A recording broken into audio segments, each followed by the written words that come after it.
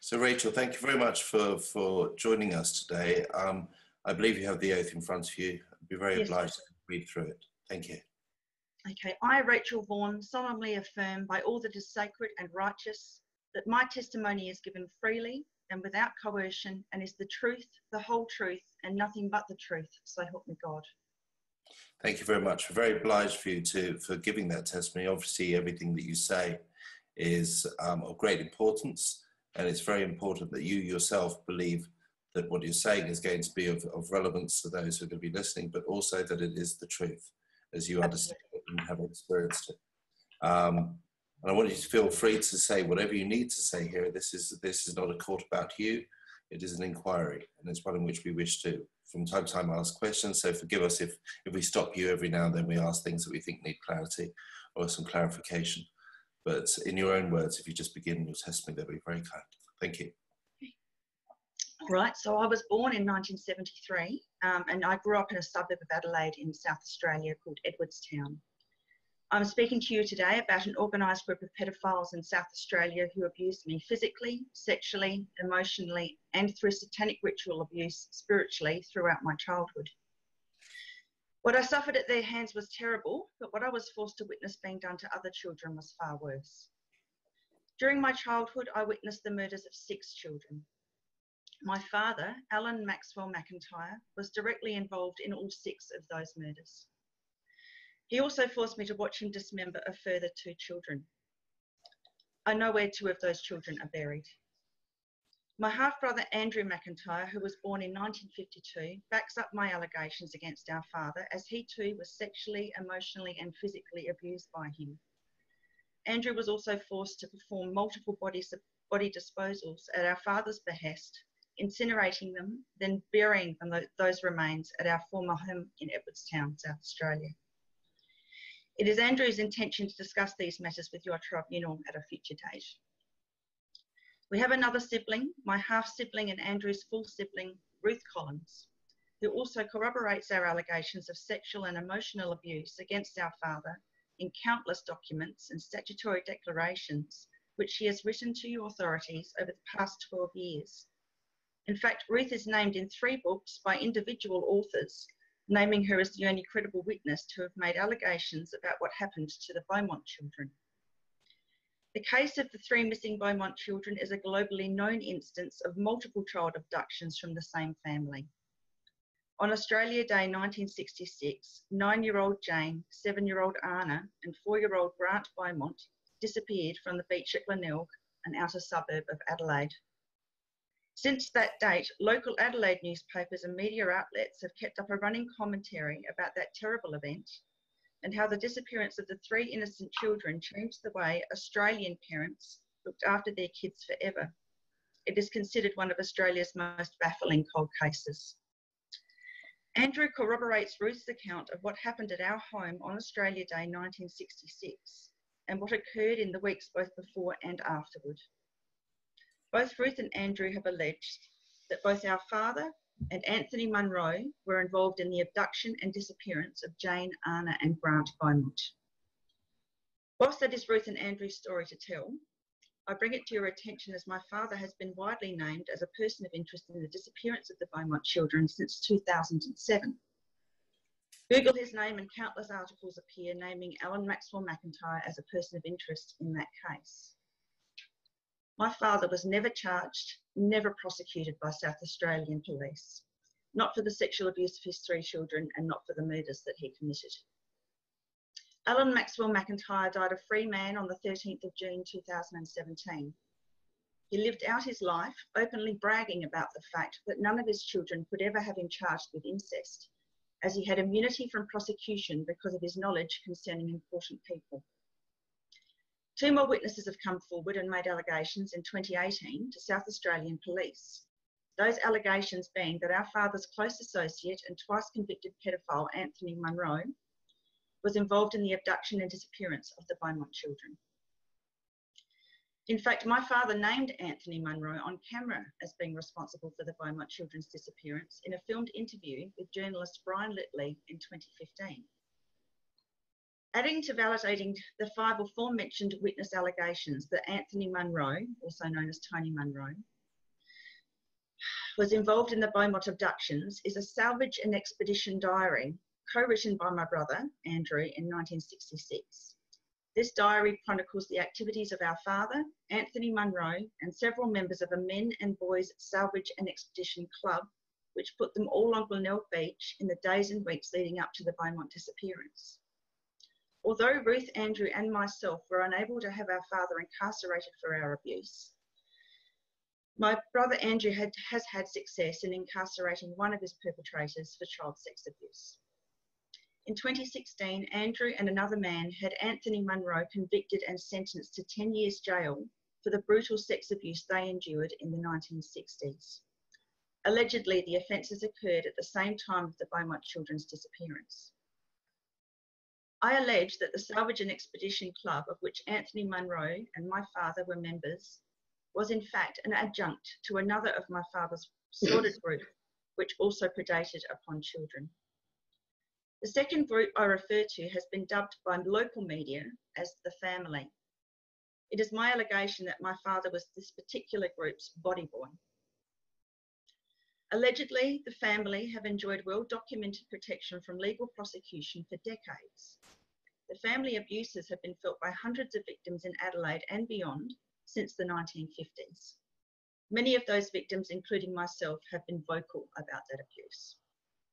In fact, there was an inquiry in 2007 into the treatment of South Australian children in state care, known as the Mullighan Inquiry Commission of Report, and also titled Children in State Care Commission of Inquiry Allegations of Sexual Abuse and Death from Criminal Conduct as a result of the countless statements of former awards alleging abuse at the hands of this organised sadistic group of pedophiles. These abuse state wards have been dubbed the takeaway kids.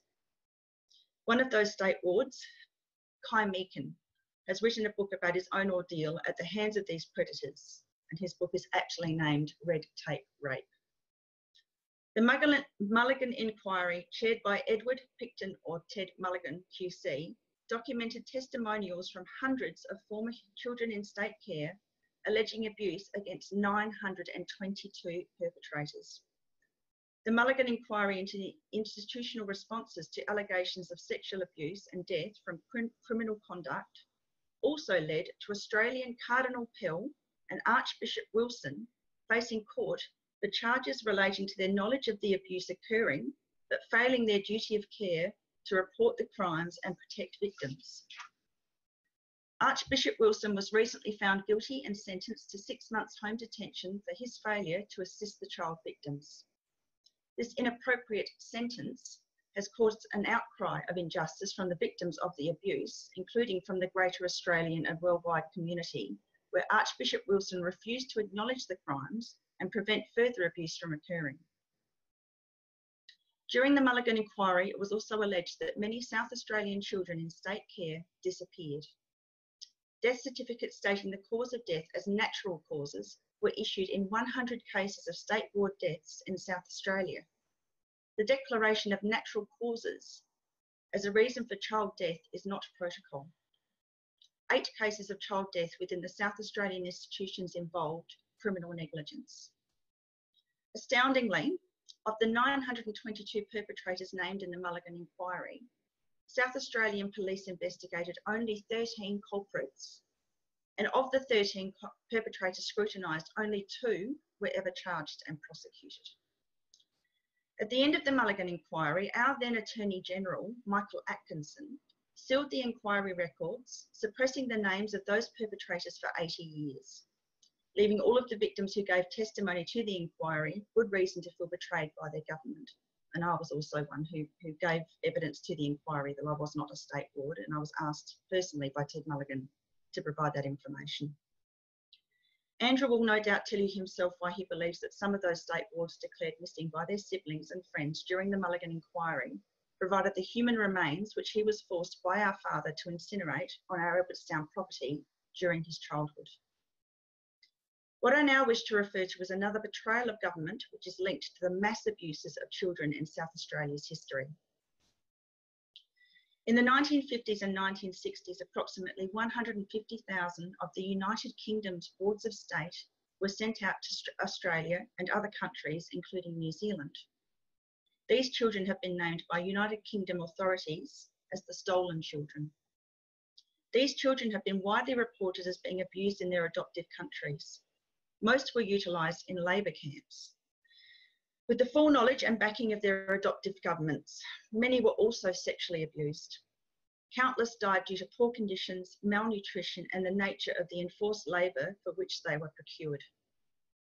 Of the 4,000 children sent to Australia in the 1950s and 1960s from the UK, only 2,000 remain.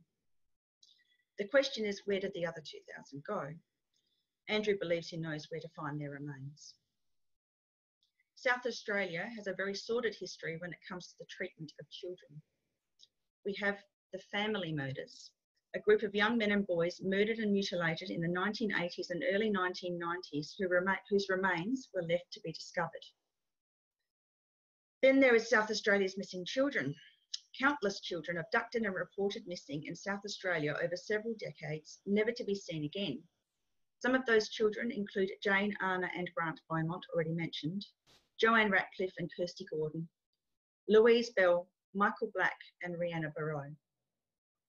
In fact, Adelaide, South Australia has the unfortunate distinction of being described globally as the murder capital of the world.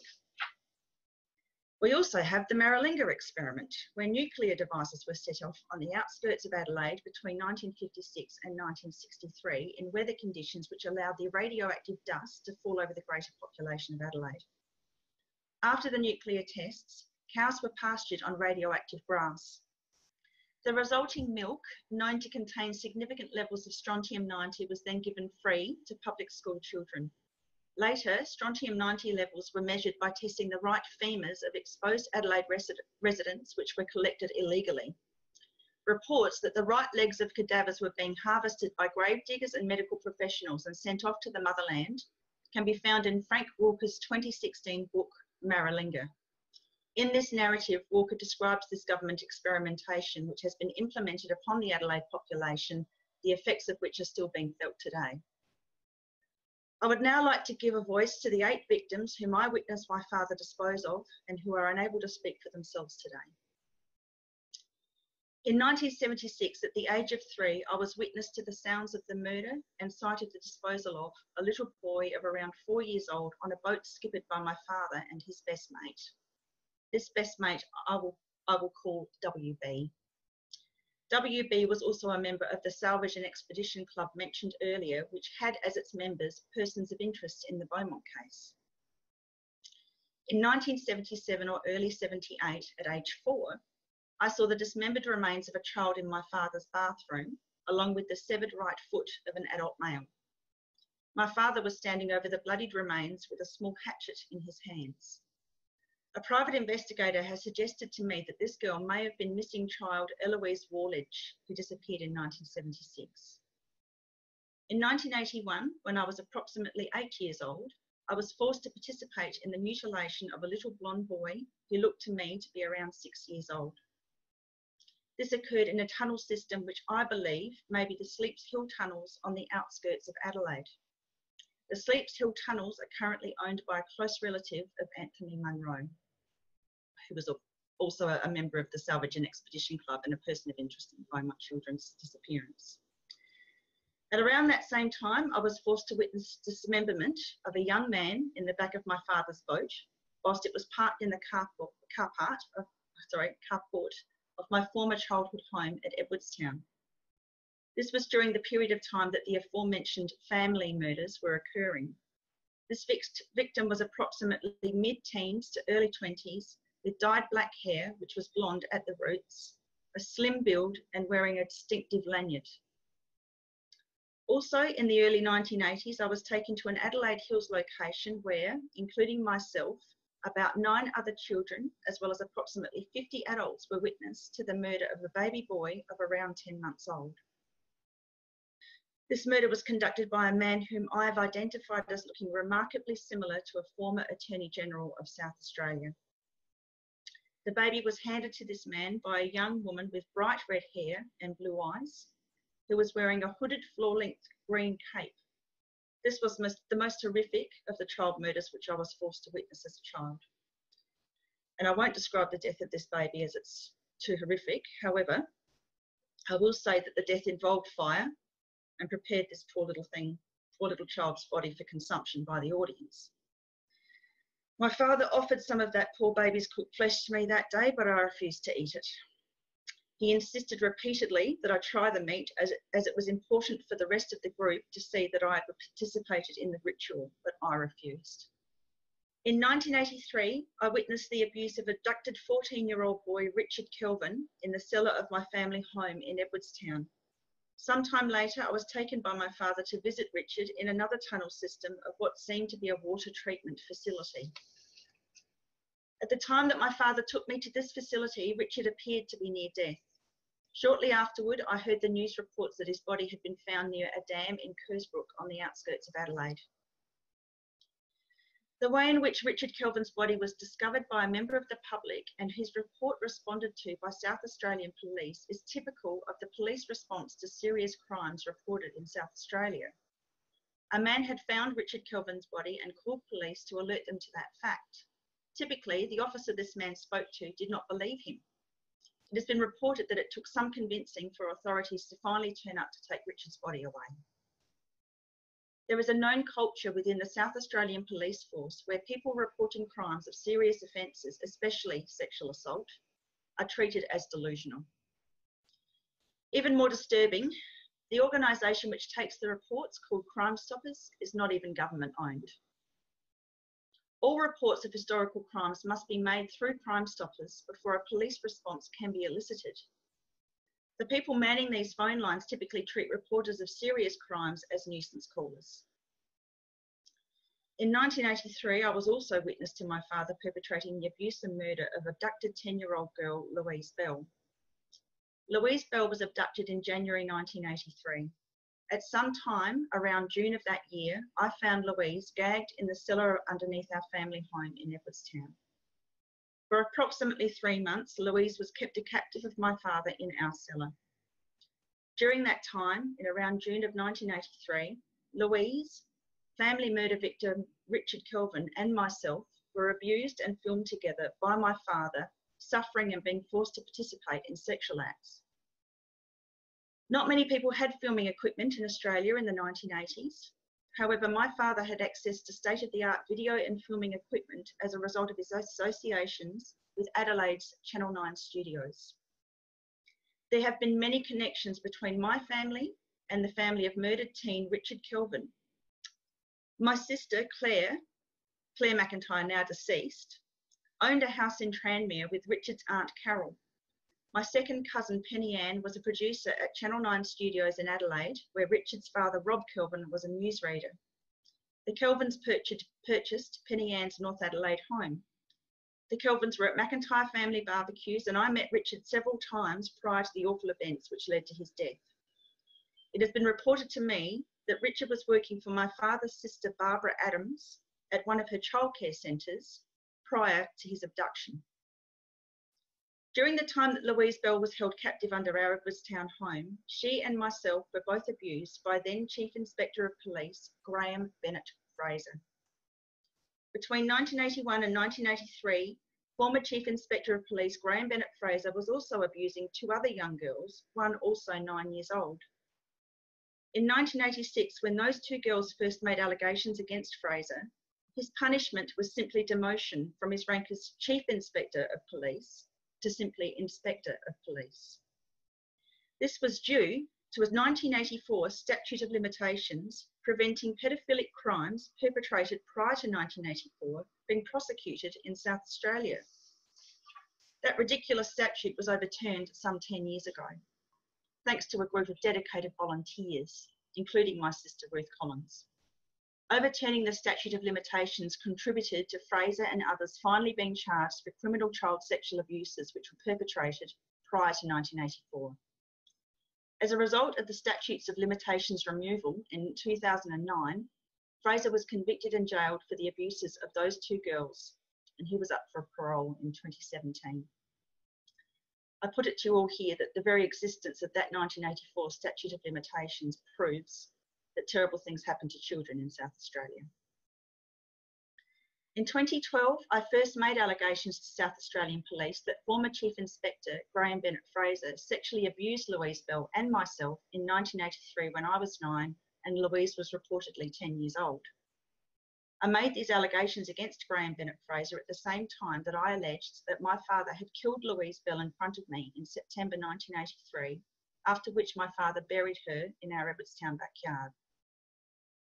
These allegations were reported in a statutory declaration which I handed to my local police officer in Bulga on the 19th of January 2012. In April of 2012, after hearing nothing from South, South, Australian Police about my January statement, I again contacted my local police station looking after the progress of my report.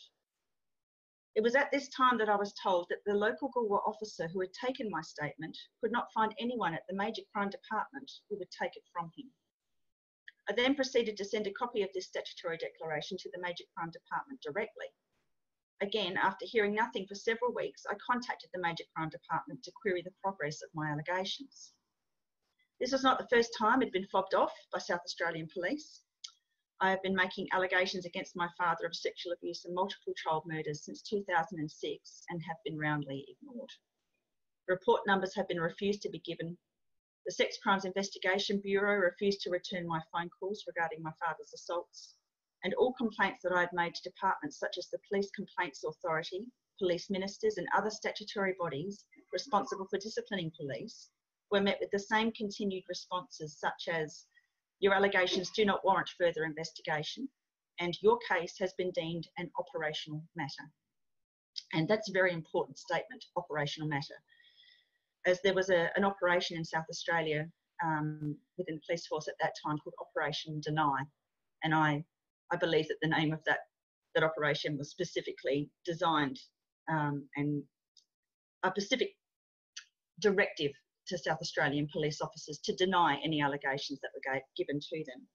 And during that time in, in the United Kingdom, there was a sister operation going on called Operation Red Flag.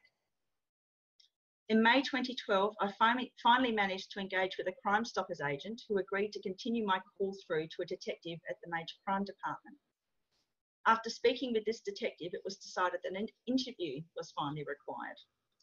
I was then contacted by a second major crime detective who suggested that I meet him for an interview in the car park of the Christies Beach police station. When I asked why I couldn't be interviewed in the station, I was yelled at by this detective he then ranted to me that he didn't know anyone at the Christies Beach police station, as if this was reason enough to conduct an official police interview in a car park.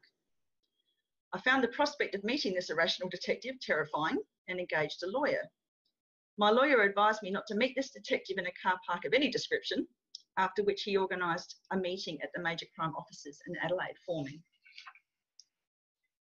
During this June 2012 interview at the major crime offices, in the presence of my mother, I told the two attending detectives several facts about the Louise Bell case which had never previously been relayed by the media. Firstly, I told them that her first name was Tracy. This revelation made the detective in charge of the Louise Bell case nearly fall off his seat. I then told the detectives that after her murder, Louise Bell had been buried in my father's former Edwardstown backyard, over which was poured a small slab of concrete. At the end of the interview, both detectives assured me that they would investigate the property in question. Both detectives soon after contacted me on a Saturday night at 9 pm. The conversation which followed begged belief. Both the detectives insisted that the girl whom I saw murdered and buried at Edwardstown was not Louise Bell. I insisted that she was. The conversation went on for some minutes with both detectives adamant that the girl in question was not missing girl Louise Bell. However, I stood my ground as I was certain of her identity. Finally, both detectives seemed to concede defeat in trying to convince me otherwise, and the call was terminated. And there was video footage of Louise Bell aired shortly after the two um, interviews that I had with the Major Crime Department. And in that, in, in that footage, it was shown that she had exactly the haircut that was different to the photo that was always aired of her in the media. And her hair was sunbleached. It's exactly as I described to major crime detectives in my first interview. So I was absolutely, absolutely certain it was her. In the days following the conversation with the detectives, I was called back for a further interview at the Major Crime Department, conducted by the same two detectives. At this appointment, I had both my lawyer Craig Roberts and my mother present. At this second interview, I was told by the detective who was not personally responsible for the Louise Bell case that I must be mentally unwell. This was despite my psychiatric evaluation to the contrary, which I had sought and cost me quite a bit of money in 2007 just simply to lend credence to my allegations, but it was useless. The same detective told me that my allegations regarding a cellar and tunnels which exist underneath my father's former Edwardstown home, Edwardstown home couldn't possibly exist. The detective stated that he had visited the home in question and looked into termite inspection points, assuming that these tunnels were a figment of my imagination. Inspecting these termite inspection points was unfortunately the full extent of this detective's investigation. He did not look into the roof space to find the trapdoor, which I had already told him led to a ladder behind a pantry in the laundry. This ladder led to the underground cellar. The detective also failed to check the end bedroom for evidence of the disruption of floorboards, which had been pulled up prior to the current owners moving in. As I'd already told this detective, the reason the floorboards were pulled up was because the original boards had been cut to allow a small hatch into the cellar below. During my time in the home, this hatch was covered over with a piece of free floating carpet over which my father's bed was always stationed. This detective also failed to discover that these tunnels do exist under the Edwardstown area. I have a private investigator who has furnished me with a plethora of documentation of those tunnels, including photographs of the many tunnel openings in the area, houses with access to the tunnels, and industrial complexes in Edwardstown which document the, those tunnels in detail. Finally, this detective also failed to take ground penetrating radar equipment to the place where I allege Louise Bell is buried and scanned for her remains. It has been brought to my attention by a child protection advocate that the tunnels underneath the Edwardstown area are still being used today by a group of organised pedophiles who use those edifices to traffic children from one house to another. I allege that some of the houses in question, which sit, over this tunnel system with access, are owned by members of this organised group of predators. How do I know this? Because the child protection advocate with whom I am in contact is the support person of a child who is currently being abused in those tunnels and whose abusive parent owns a home with access to the same underground system. And this is my main reason for coming to you today. I've been making these reports for 12 years, but when I discovered some months ago that this child was still being abused in the same area. I was just so incensed as a mother um, and so disgusted at the South Australian Police that I've decided to put my life on the line and speak to you all here today. Not only do I have extensive evidence that the tunnels under my father's former Edwardstown home exist, my allegation that my father's former home sat over a junction of two of these tunnels has also been substantiated. This made my father's former home very well placed for child trafficking purposes. These tunnels led in one direction down Macklin Street towards the Toc H Scout Hall, whilst the other end of this tunnel ran under a nearby main road named Cross Road and continued towards the Glenelg tram line. One end of the east-west tunnel ran under a home on the corner of Cross Road and Almond Grove, which my father described as possessing a killing room. I was taken to this house on Cross Road as a small child and, and practiced on by men who conducted procedures such as catheterizing my urethra. I suffer urethral stenosis to this day as a result of those procedures and have been forced to undergo surgical interventions in adulthood to retain the ability to urinate without a catheter. It is important to note here that my father knew many people in the medical fraternities at both Adelaide and Flinders universities and medical centres in Adelaide. My mother even gives an account that my father used to dissex our female cats. Others have also made similar allegations that my father performed medical procedures on our family pets. However, he had no formal medical training. He was formerly an electrician and wiretapper for Australian Telco Telecom. The house on Cross Road had a butcher out the front and a bakery at the side, all on the same property. Behind a cabinet in the kitchen was a hidden room which was fully lined with stainless steel including tracks at the bottom of three walls and plumbing. The steel lining of this room's walls rose approximately five feet up each side. I was taken to this house by my father on another occasion when I was also a small child. On that occasion, I was forced to watch as my father instructed and presided over the conduct of two other males, who then butchered the corpses of two men. The two unknown men who conducted this procedure I had not met prior to this event and never met again to my knowledge. Both men looked very similar but of different ages, as though they were father and son. When the bodies were cut up, they were packaged into two separate suitcases. And there have been other cases in South Australia where bodies of dead people have been found in suitcases. I've heard allegations that in 1973, one of our family members, who was then aged six, pointed this crossroad house out to another family member as they drove past one day. This six year old stated that our father had forced him to clean up a lot of blood at that location. This was at the time that two young girls, Joanne Ratcliffe and Kirste Gordon, went missing from nearby Adelaide Oval. This is another of Adelaide's disturbing and all too frequent unsolved missing children's cases. The dual kidnappings of these two girls from the Adelaide Oval in August 1973 has been dubbed the Oval abductions. This is a cold case which has never been solved, according to the media and South Australia Police. However, private detectives and journalists, as well as one victim's family member, have collated ample evidence suggesting a person of interest from the Yatina area, which is north of Adelaide. Despite this, major crime detectives also refused to view or consider that evidence. My father has been named as a person of interest in the Oval abductions case also. In his defence, as an alibi for this crime, my father has stated that he was away as a Navy reservist during the time that the Oval abductions occurred However, despite extensive searches by myself and professional researchers, there are no Navy records to support his alibi. Getting back to the tunnel system under Edwardstown, it is my allegation that there are multiple homes of interest along the tunnel system. For example, a family with the surname of Geesing once owned one original home dwelling that was built in the Edwardstown area. In 1985, a man called Raymond Geesing was convicted, then exonerated of the abduction and murder of Louise Bell. It is possible that it was Raymond Geesing's own family home, which stood just up the road from us in Edwardstown, and this may be why he was a person of interest in her case. Of course, I don't know because the South Australian Police won't share any of their information with me.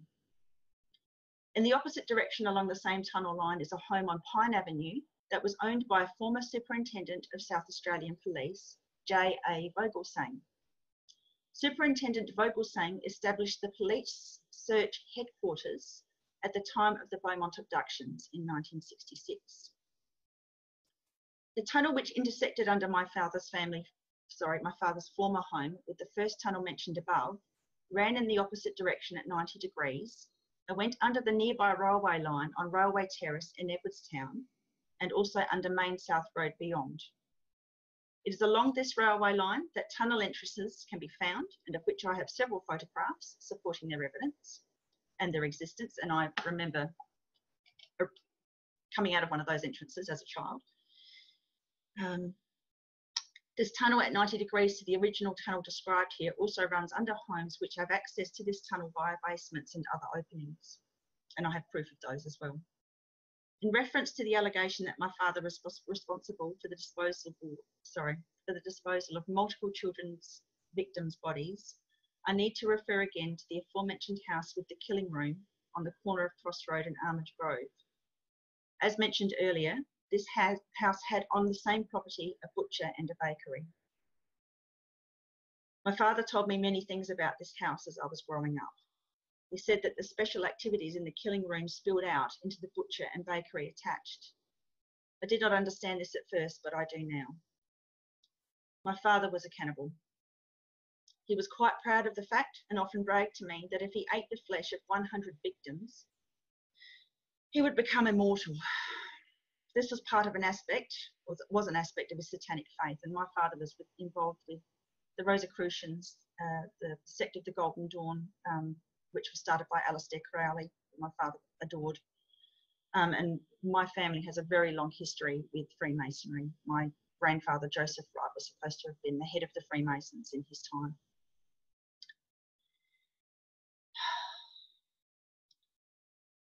Okay, he alleged, my father alleged to me as a child that the bakery and butcher on the property with the killing room on Cross Road was there for butchering, sorry, for butchering and selling people human flesh, and that was only sold to special customers who knew who knew how to introduce themselves correctly. In, in, fact, a private detective has shown me a particular type of sticker that can be found on certain Adelaide butchers, which has a King K on it. And by King K, it K with a crown above it.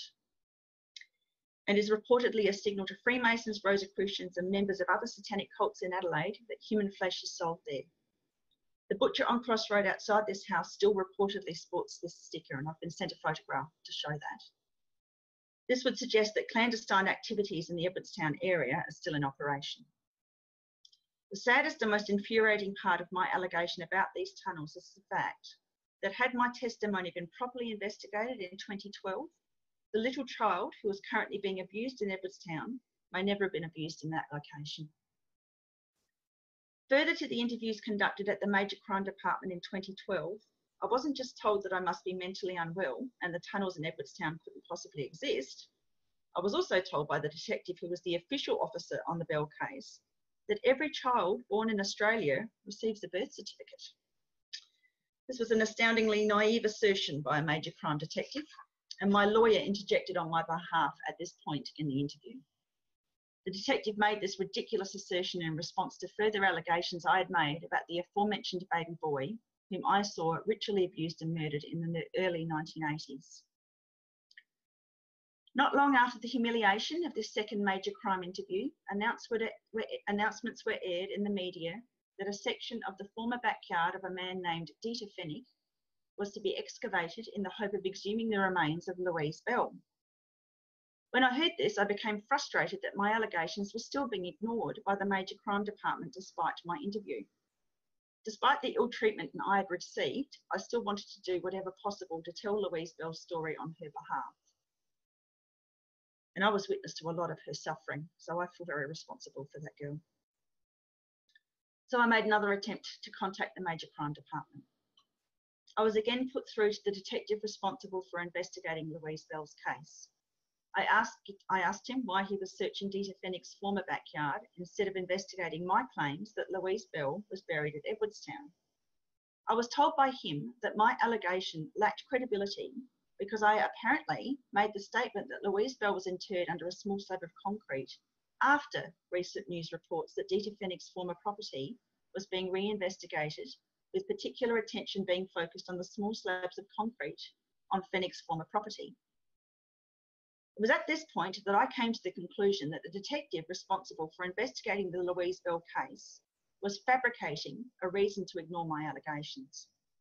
I came to the conclusion because, in fact, the detective had actually heard my testimony that Louise Bell was interred under a small slab of concrete days before this media story was ever released. In fact, the first time that I alleged Louise Bell's remains are buried under a small slab of concrete was to my brother Andrew in a phone conversation on the 5th of September 2009, and my brother is happy to attest to that fact. The first official allegation that I, that I made that Louise Bell is buried under a small slab of concrete was in a statutory declaration to the South Australian Police on the 29th of September 2009. On the 1st of August 2016, I took my allegations about Louise Bell's murder to the Independent Commission Against Corruption. I was soon informed by an officer of that commission that I could not make allegations to them because my statement involved the misconduct of a police officer. I was then referred to the Police Ombudsman's Office. I then took my allegations to the Police Ombudsman's Office and was again told that my statement was not to be investigated. I rang the police ombudsman's office and asked why my allegations were being ignored. I was then put through to the officer responsible for recommending allegations to the police ombudsman, a man who, will, who I will name here as WM. WM was formerly an officer employed by the Police Complaints Authority and with whom I had already had interactions. In fact, WM told me in 2012, as an officer of the PCA, that none of my allegations were ever to be investigated by that authority and that he was the only officer I would ever be able to speak to in that department. He also told me during this 2012 phone conversation that I had been dealt with already. And he repeated this admonition three times during our 2012 discussion. I might add that it was said most menacingly. There is more to my efforts to have the Louise Bell case adequately investigated, but trying to explain it all here is difficult. In 2016, Dieter Pfennig was convicted of the abduction and murder of Louise Bell, despite my allegations. This was based on DNA evidence found on Louise's pyjama top, which was, she was wearing on the night of her abduction, and which was later placed on her neighbour's lawn by an unknown person to be submitted as evidence. In other words, this was left out to be found. It could easily have been contaminated. Despite my contact with the Department of Police Prosecutions in 2016, my allegations were never discussed during Dieter Pfennig's trial. However, during the trial, a letter did suspend the trial for some time, but again, I do not know if that was anything to do with my allegations. I've suggested that the Major Crime Department compare the two other DNA samples found on Louise Bell's pyjama top and never identified against my father's DNA, which South Australian Police do have on file. I wish now to discuss the final murder which I was forced to witness as a child. This murder was perpetrated in 1987 by my father in the bathroom of our Edwardstown home. The victim was a blonde, blue eyed boy of approximately 12 years of age. My father and his third wife completely remodelled this bathroom following this boy's murder. Although the tiles were all removed and replaced, it is likely that some of this boy's remains are still embedded in the brickwork of the bathroom wall, wall which stood behind him when my father shot him in the head with his rifle. So that concludes the murders and mutilations I was forced to witness as a child. And what follows is an overview of my attempts to have my allegations properly investigated by South Australian authorities and authorities in Australia in general. I have contacted over 70 individuals in 20 different departments in attempts to have my statements of abuse and child murder adequately looked into. These include the Crime Stoppers organisation already mentioned, the Adelaide Sex Crimes Investigation Bureau, the Adelaide Major Crime Department, the Mullighan Inquiry, the Victims' Rights Commissioner, the Police Complaints Bureau, which I need to mention was disbanded in 2009 amid allegations of corruption and inaction the Queensland Pedophile Task Force, the Independent Commission into Corruption, various police ombudsmen, and again, I need to mention that in 2016, the Police Ombudsman's Office was also um, made defunct due to allegations of inaction and corruption. The Office of Public Integrity, and I love the name of that office because, again, they're completely useless and did nothing to help me. The Internal Investigations Section of South Australian Police, the Department of Police Prosecution, the Legal Services Commission, the Australian Federal Police, two former Prime Ministers, four Senators, and 23 individual South Australian parliamentarians. Four of those parliamentarians made the effort to personally meet with me to discuss my allegations and referred my matter for further investigation to the appropriate authorities.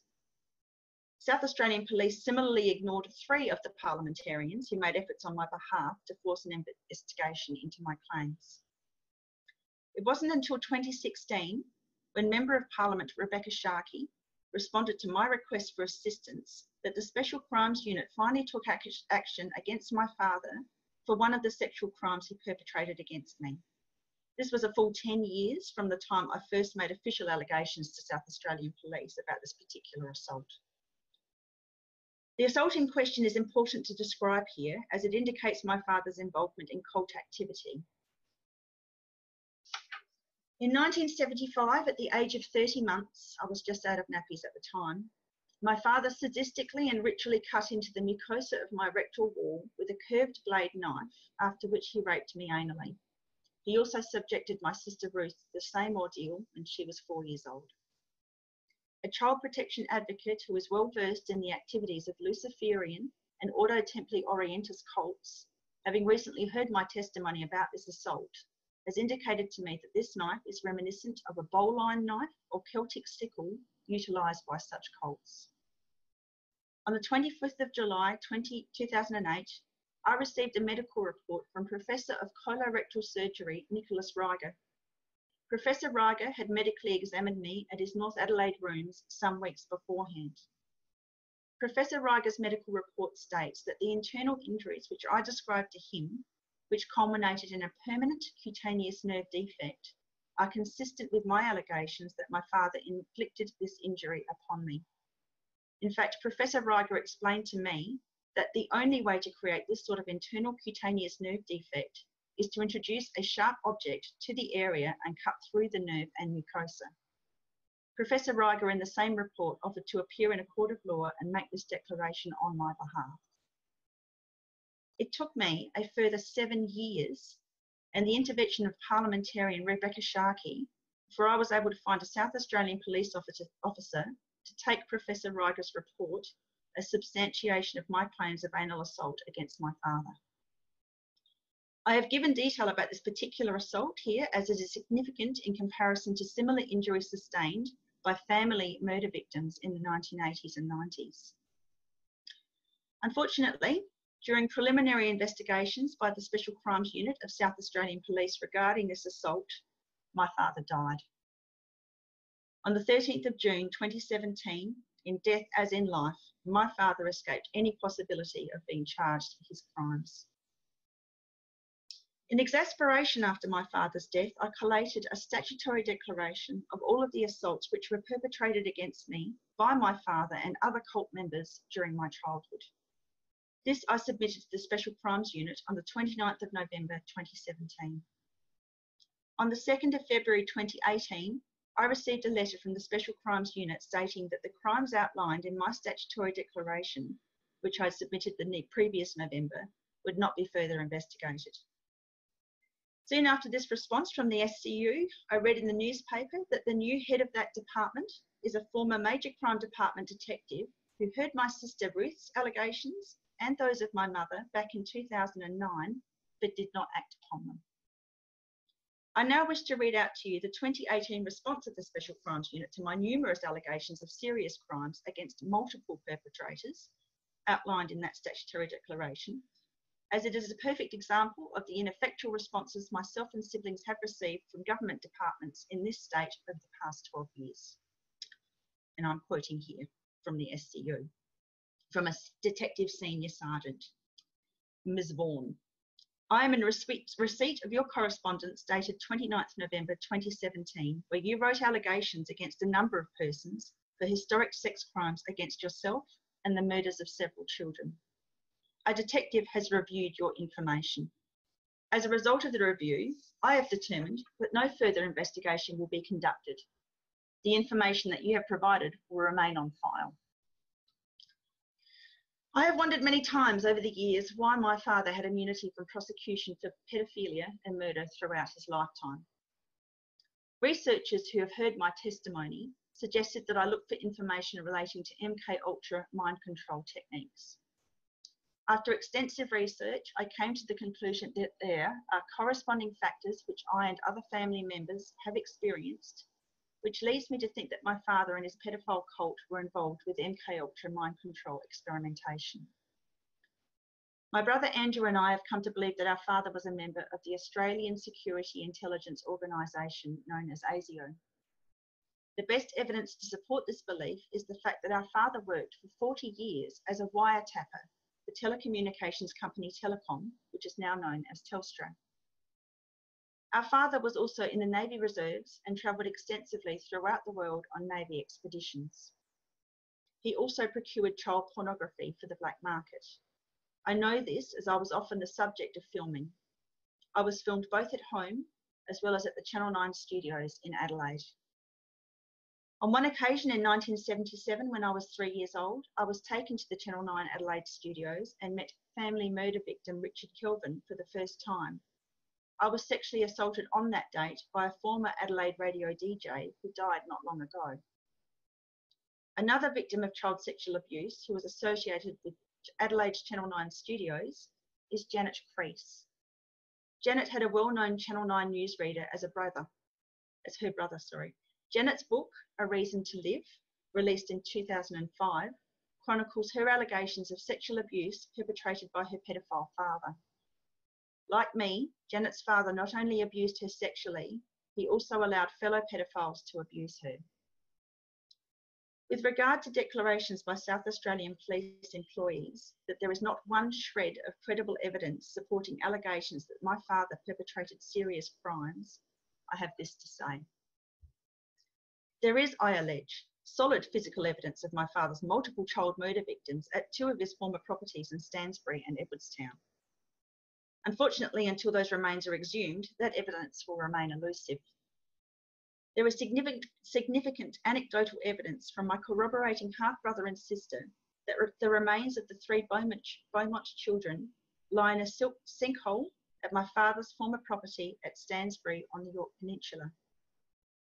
In fact, Ruth and Andrew's witness accounts giving credence to this belief is convincing enough for third parties involved with a Facebook page called In Memory of the Beaumont Children Missing Since 1966 to publish a petition to force South Australian Police to exhume the remains of Jane, Anna and Grant Beaumont from the Stansbury sinkhole.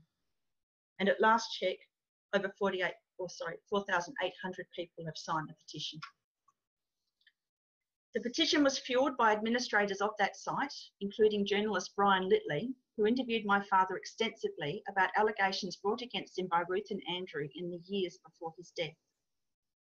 It is from one of these interviews that I will now quote my father's own declaration about what happened to the Beaumont children in 1966, and I quote, I know a lot about the Beaumont killings. I want the whole bloody mess looked at. Now I'll get around to who killed the Beaumonts. You want to know about Tony Munro? He is deeply involved. He is one of the most evil pieces of work that ever drew breath. Munro turned up with the three bodies in the back of the car. And that's, and I end quote that, and that is my father. Here, my father substantiates my sister Ruth's claims that the Beaumont children were shown to her in the boot of our father's car on Australia Day 1966, a claim that she's been making since 2006. Sorry, since 2007. The car was parked outside our Edwardstown property at this time. In the same interview, my father went further to claim that Anthony Munro, and I quote, arrived at my house on the 26th of January with the three children in the boot of my car. I didn't even own the car and it never happened when I was there. I believe Munro is up to his eyeballs in this, end quote. In a signed letter, which my father wrote to a major crime detective in 2012, which predates this interview, my father also states the following. Tony Munro is a person of interest to Detective Brian Swan. At the time my father wrote this in 2012, Detective Brian Swan was the presiding officer over the Beaumont children's disappearance. What follows now is a statement my father made in a filmed interview, again with journalist Bryan Littlely, in which he acknowledges finding his good mate and convicted pedophile Anthony Munro in bed with his young son Andrew. And I quote, I caught him in bed with my son. They were bundled and naked. I didn't make a scene. He was a boy, a beautiful boy. He was my son, and he was in love with a scoutmaster. End quote. And Tony Munro was Andrew's scoutmaster. At the time that my father states that he found the adult Anthony Munro with my brother, Andrew was only 13 years old. Munro had been abusing him for years. I allege here that only a pedophile could find a grown adult male naked in bed with his juvenile son and not make a fuss. For my father to then, to then try to blame the interaction on Andrew by stating that Andrew was in love with his scoutmaster is offensive in the extreme, an outright lie, according to Andrew, and is again an indictment of my father's status as a pedophile. Earlier this year, the back property of a factory in North Plympton, just a short walk from Edwardstown, was exhumed in the hope of finding the remains of the Beaumont children. The exhumation of this land was based entirely upon the witness account of just one man. Amid a furor of media reports, the dig at this North Plympton site yielded nothing but animal bones. Despite this failure, the Major Crime Department in Adelaide have continued to refuse to exhume the sinkhole at Stansbury. Despite my witness testimony of the murder and burial of Louise Bell, as well as another child who was murdered and buried there in 1987, my father's former property at Edwardstown has not been excavated. It has been put to me over the past 12 years amidst assumptions, amidst assumptions of false memory syndrome and mass hysteria by members of my family who do not wish to believe that my father, Alan Maxwell McIntyre, was a murderer and terrorist, that I and my corroborating siblings have made up these allegations against our father for attention or financial gain. There has been no financial gain in my fight to bring these crimes to light, but there has been enormous cost. The negative attention, which my attempts to tell the truth of my childhood has elicited the most cruel, vindictive, and painful reactions from my once loved family members, who chose to take my father's side over my own and those of Andrew and Ruth as well. In fact, it's been a rocky path for me since I began making allegations in 2006. I wish that I could pretend that these things did not happen, as so many of my family members have managed to do. Unfortunately, the survivor guilt with which I suffer on a daily basis will not allow me to put my head in the sand and pretend that these events did not occur. Not even to save those family members who have denigrated myself, Ruth, and Andrew for the past 12 years the embarrassment of having to explain their actions in protecting my father from the prosecution and scrutiny he deserved. And I say that because one of my family members contacted me early, early last year and stated that if I didn't stop my crusade that many members of my family would have to suicide. It is justice enough that my family will in future have to accept that their mis misguided efforts have robbed our father's victims of any opportunity for true justice. In speaking about these crimes and the perpetrators who abused me, I have put myself in serious danger. Bad things happen to whistleblowers in South Australia. My sister Claire's death in 2009 is a prime example of what happens when people refuse to keep quiet about terrible crimes in South Australia. Claire was also present on Australia Day 1966 when our father and Anthony Munro brought the three deceased Beaumont children to our family home in Edwardstown. As my brother Andrew has stated in media reports in June last year, Claire was forced to brush the blood and sand from the children's hair as they lay in the boot of our father's car. In August 2009, Claire made a call to the Major Crime Department and made an appointment to speak with a detective about her witness account of what happened to the Beaumont children in 1966. The next day, Claire was found dead with a broken neck in her own backyard. Confoundingly, and despite submissions from myself, Ruth, and Andrew that Claire was most likely murdered because of what she knew, the current South Australian coroner refused an inquest. He ruled Claire's death a suicide and released his findings to her senior next of kin. It is possible that this senior next of kin was our father, the person whom myself and siblings alleged to the coroner had likely ordered or even executed Claire's death. It is important to note here that in the months prior to her death, Claire had been reporting to family members that someone was trying to kill her. Her declarations became so distressing for family members that she was placed in a mental health facility it was only shortly after Claire was evicted from this mental health facility against her will that she was found dead. It is not lost on me that my allegations put me in a great deal of danger. Claire's untimely death is testament to that fact, but it is a danger that I've been forced to face on a daily basis since first making allegations in 2006, and it's a fear I've had to live with my entire life.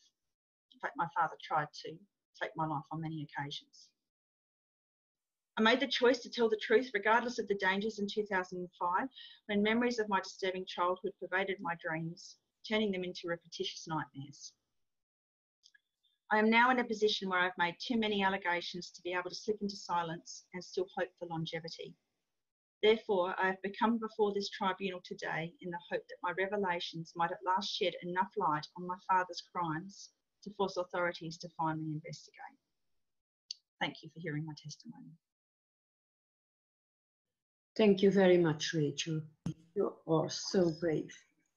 Um, I think many victims and even dead victims uh, must be incredibly grateful for what you are doing now. Um, be proud of yourself.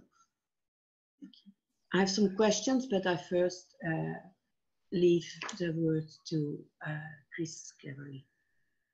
I'll be back to you. Thank you very much, Rachel. Um, you're very clear. Um, the testimony that's been given quite clearly as well sheds a light upon something in an area that um, has been concealed clearly for a very long time. Um, there's also clearly seems to be a lot of attempts being made in the past to actually shed light on this from various various areas. Hmm.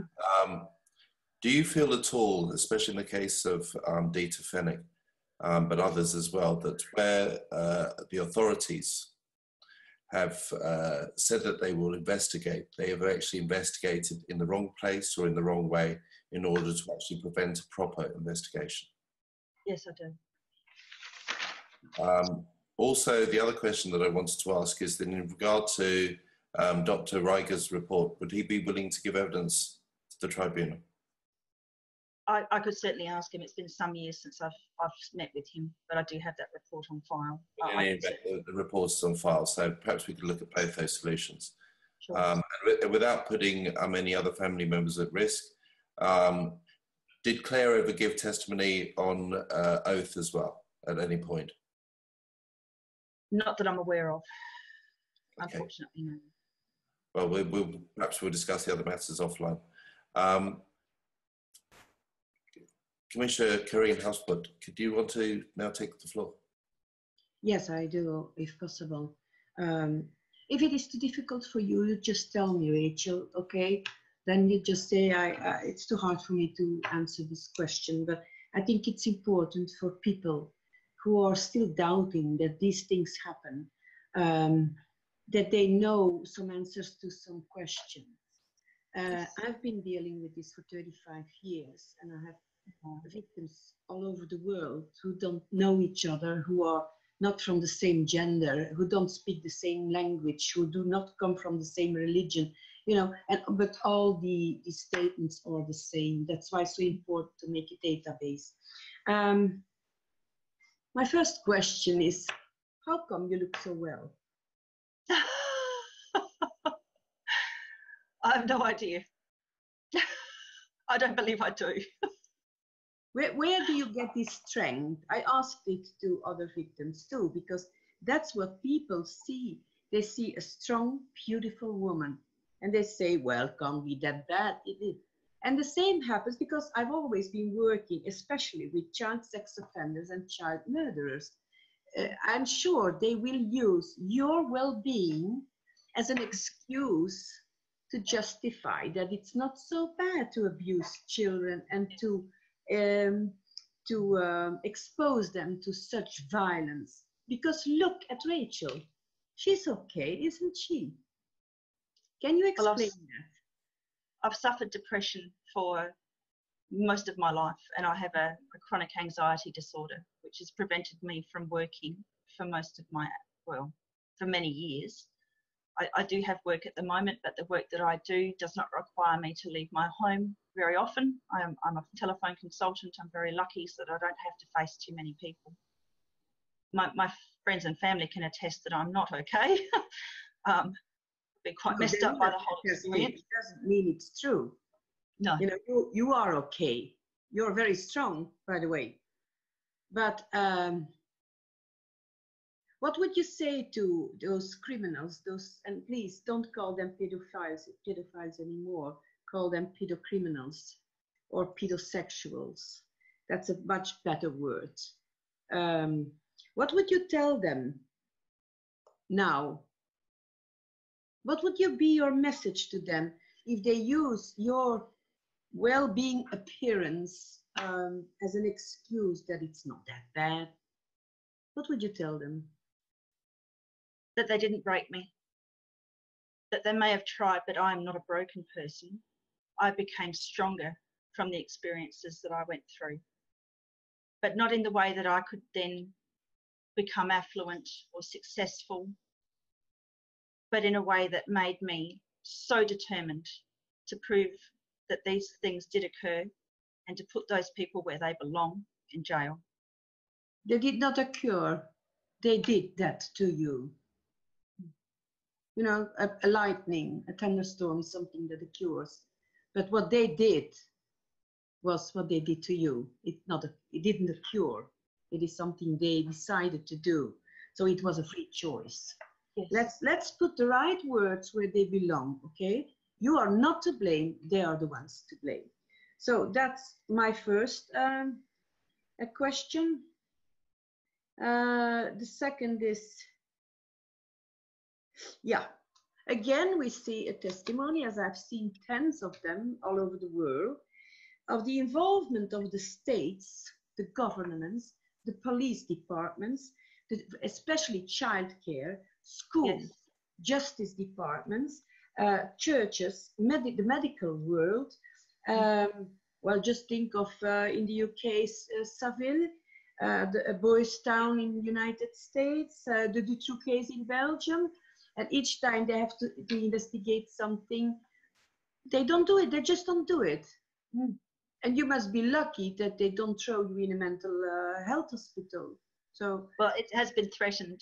It was threatened to me by my father because his 3rd mm-hmm. wife was a psychologist. So I, I had those threats. And in fact, my father's first wife died in a mental institution shortly after my sister told her what happened to the Beaumont children. And what, her, they did, what they did to the Beaumont children. Yes, yes. So, um, so Margaret McIntyre died in Glenside, a mental health facility in Adelaide, at the age of 33, and the then coroner Colin Manock deemed her her death from natural causes. Mm-hmm. She was a very healthy woman, 33 year old woman. Mm. So it doesn't mean that all these people that uh, write false reports are involved in the crimes themselves, but we are speaking of thousands or thousands or uncountable uh, cowards. They know, but they don't speak like you do. I would like those cowards to finally get out of the dark and start talking. And there are many be it in childcare, be it a coroner, be it a doctor, be it a uh, judge, talk. But what religion had your father? He was a member of the Golden Dawn sect and a Rosicrucian, uh, and I believe he was also a Freemason. But that's not a religion, is it? Well, depends on where you come from. mm. What was your father's profession? In fact, was uh, an electrician. He was an electrician, but he wiretapped. So he listened into the phone calls of people on a daily basis. That was his job. Um, so, what did your mother do as a profession? Well, she was mostly a mother, but she also worked for a chiropractor as a um, uh, secretary for mm-hmm. some years. And on, on a financial basis, how did your family do? middle class. Uh, my older siblings say that they were often very hungry, but I didn't experience that sort of hardship. We seemed to have food on the table, bills were paid. Were they, were they, were your parents and the family living above their stand for what they earned? I would say they just scraped by. That is strange because most of those that I see are people like your parents, but they have four five big houses and they have no loans. They have well, no my more. father was always flashing money around, but he did not share that with his family. And I have had another sibling come forward to say that, and he lived just around the corner from us, and, and we have photographic evidence that my father was involved with his mother to prove that my father had another family and possibly more families as well. So I think he was sharing his money between a number of households. Mm-hmm. It is very strange because often the children are uh, dressed very expensively. And uh, in school, normally they, they must see this, they must say, How is this possible? The mother is home and the father is the postman. How is it possible? They are dressed with very expensive and and um, fancy uh, shoes and clothes, but everybody is keeping silent. Mm. Um, that's something that comes back again. Then I was uh, wondering if there has been in, uh, DNA investigations on the crime scenes and searches. Uh, you say that you know where some bodies are from ch children, but they, they refuse also to investigate. Yeah, I'm, I'm on two, three cases like this in Europe too, so it's it's not a surprise to me. Um, the, the thing they do is making you as a victim complicit to so you would shut up Yeah. Basically, yes. what statement would you give to all these victim com- compliers now? There are uncountable people like you, but they dare not speak out mm. because they they were forced in, in complicity to commit crimes themselves. Yes. What what would you tell them? The only way to have a completely clear conscience is for them to come forward, follow the lead of others like myself who are speaking up regardless of the dangers. Mhm. Just do it because it's worth it. It's worth it on a soul level. I can't say that I sleep well at night still. I still have nightmares. But I know that in my heart I've tried my best. more than your best. Don't you think, and that's maybe more a question for Chris Cleverly, that we should uh, force to change the laws uh, concerning victims that were forced to commit crimes so that they have the opportunity to come forward and help investigations um, to, to, to, to um, solution.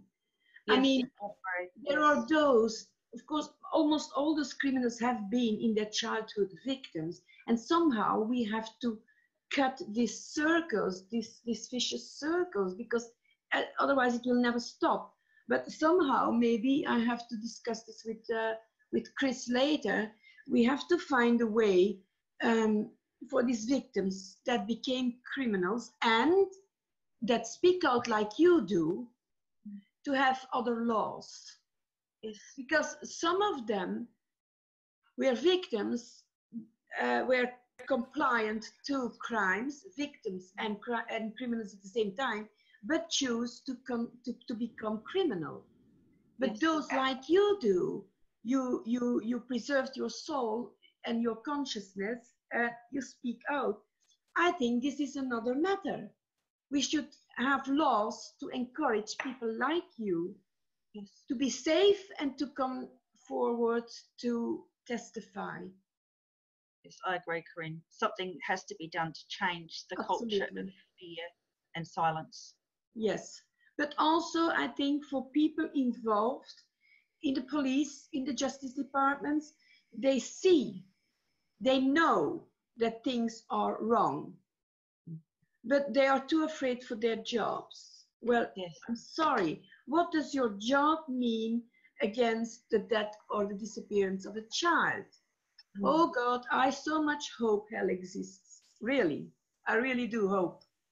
Um, did you talk to the parents of the missing children about what you know about them? No, I did not.